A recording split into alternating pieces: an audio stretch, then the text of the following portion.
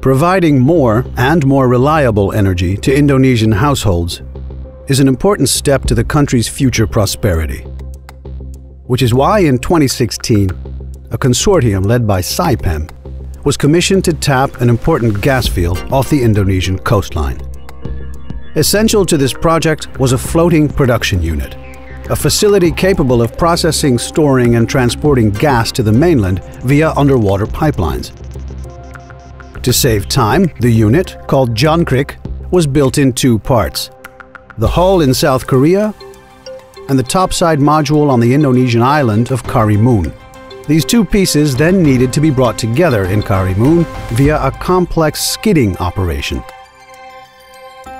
That's where Mammoet came in. Mammoet had engineered and executed complex skidding projects before, but Jangkrik was different.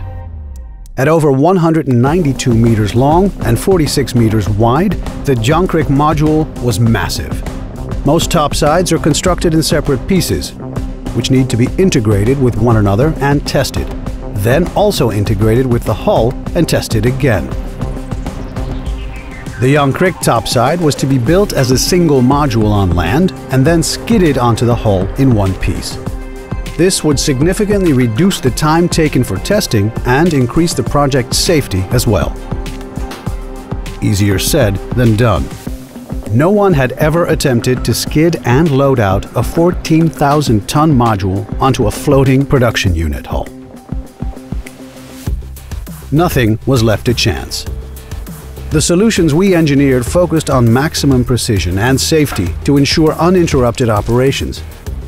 A team of Mammoet professionals deployed a hydraulic skidding system controlled by specially designed software.